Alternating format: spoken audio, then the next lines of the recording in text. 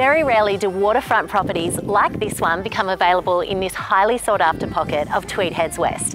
Here at 43 Sunset Boulevard, the Tweed River is not only going to be part of your lifestyle, but it's your backyard.